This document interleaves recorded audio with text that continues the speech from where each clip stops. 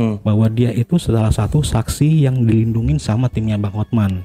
Bongkar rahasia Linda, sosok Mel-Mel diduga saksi kunci Vinda Cirebon, akui dilindungi Hotman Paris.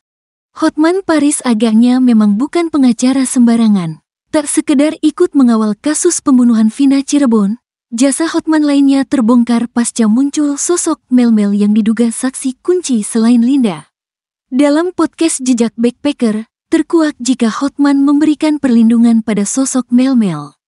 Bukan cuma Mel-Mel, Hotman juga disinyalir mengetahui keberadaan Linda, sahabat Vina, dan memberikan perlindungan pada sosok diduga saksi kunci tersebut. Chattingan akun Mel-Mel dengan seseorang ini jadi viral di mana-mana. Akhirnya gua coba carilah akun si Mel-Mel dan ketemu. Cuma memang akunnya di private, jadi gua gak bisa lihat statusnya, gak bisa lihat fotonya, gak bisa lihat teman-temannya, harus request friend, kata podcaster. Gua inbox, akhirnya dijawab.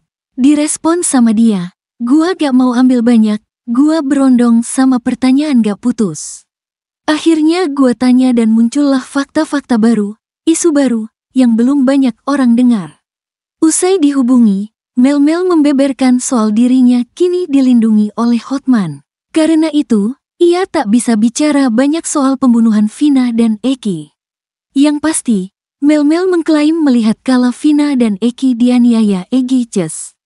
Mel-Mel juga dicurhati Eki soal masalah dengan Egi. Sayangnya, Mel-Mel tak bisa cerita detail karena dilarang oleh Hotman. Saya bukan wanita, kesaksian yang asli sudah saya ceritakan ke tim Hotman Paris.